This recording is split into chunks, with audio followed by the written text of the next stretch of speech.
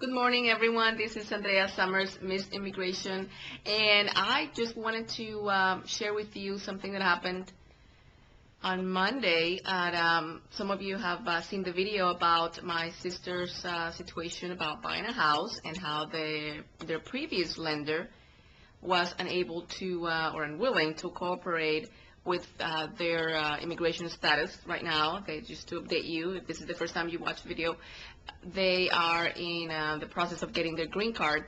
So that way they are they don't have a visa, they don't have the green card yet. So the lender was just not cooperating. So I know some of you are in the same situation, so just watch out.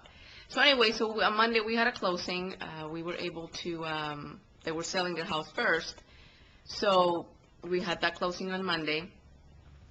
And uh, so it was the title company, it was at the title company, so it's the, the closer, who is the person from the title company, then the other, the realtor representing the buyer, the person that bought my sister's house, and then there's the lender of the buyer, and there were my sister or her husband, who are the sellers, and then me, I represent the sellers. So they're all, all of the parties were um, international immigrants, but the buyer, she was from here, she was from the U.S. And uh, so there was a person from Vietnam, from Mexico, El Salvador, and Colombia. So we were talking about the the, the, lender that my sister had, and we just and, and then um, we just just telling the story.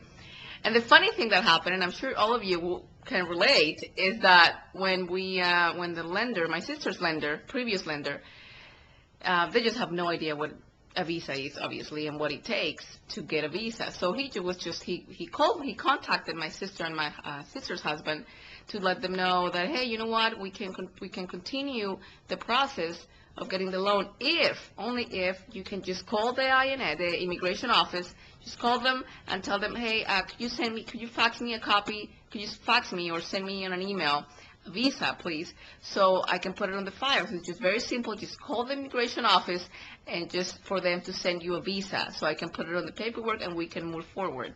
So of course, at the title company, we all laughed. Um, the person from the U.S., the buyer, she had no clue what we were laughing about. And uh, so my sister just answered, I've been, it's been 15 years, and that's what I've, I've been trying to get, an actual status, which, well, they're looking for the residency, but um, people just don't get, people don't understand what immigrants go through just to be able to uh, get visas or change their status. So it was just a funny situation that only us um, understand what how uh, the immigration process works. It is just it takes a lot of time, a lot of effort, and it does not take a phone call. That's for sure. Phone calls, hey, send me a visa. It's just not possible. So I just want to update you on that. We're still uh, closing, hopefully in a couple of weeks, and um, I will let you know when that happens. So that way, um, the, some of you that are in the same situation in the process of getting the green card, then you'll be able to um, go ahead and purchase a house if that's what you want. Thank you for watching. This is Andrea Summers, Miss Immigration. Have a great day.